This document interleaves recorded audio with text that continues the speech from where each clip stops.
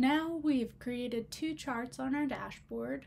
However, they are fairly static and do not allow a user to easily filter the data represented.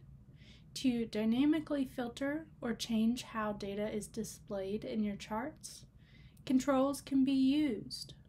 We'll first create a drop-down control, which will allow us to select from a list of defined options.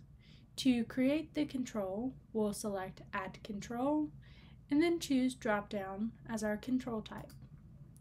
We'll need to name this control project name.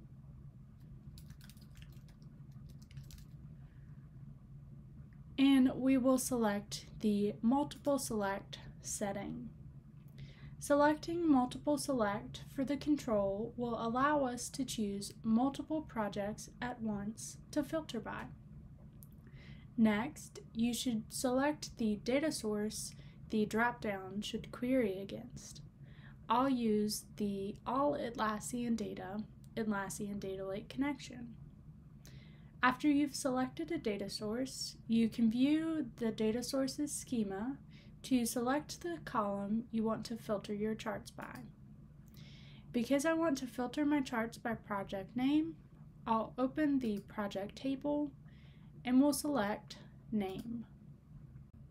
If you want this control to automatically be connected to any existing or new charts, then you should select the Connect this control to new and existing charts.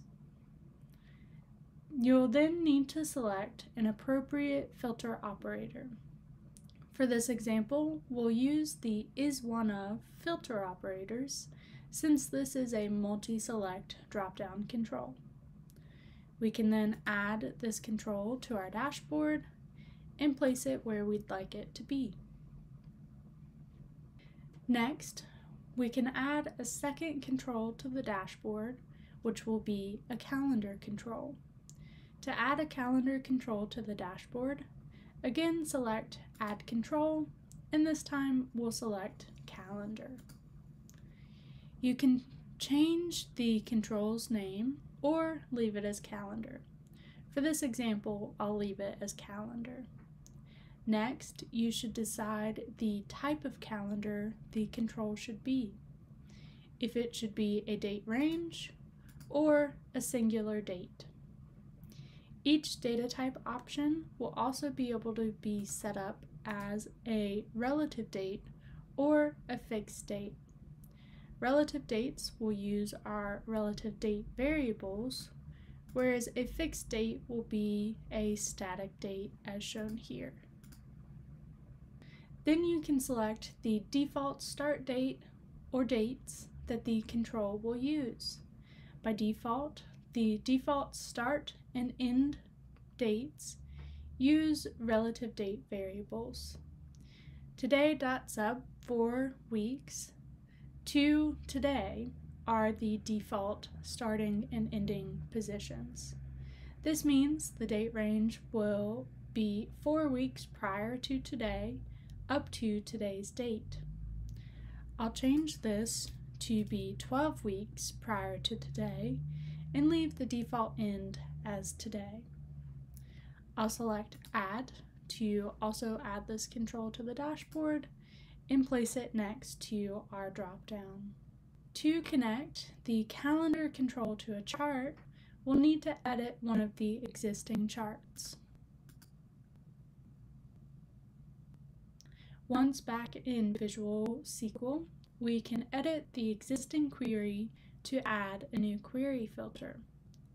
For this example, we will expand the issue table and use the created at column because we want to see the issues created during the date range in our calendar control. Next, we will use the between and including filter operator and then we can select the start position of our calendar and the end so that our dates are filtered from the start to end of the control. Then we'll run this query and that is how you connect a calendar control to a chart. This process will have to be repeated for any charts on your dashboard. Now we can save the chart back to the dashboard. You can verify that these controls have been connected to your charts by hovering over the control, selecting the ellipses, and then choosing Show Connected Charts. Any charts connected to the control will be briefly highlighted with a yellow border. Now you're ready to begin dynamically filtering your charts.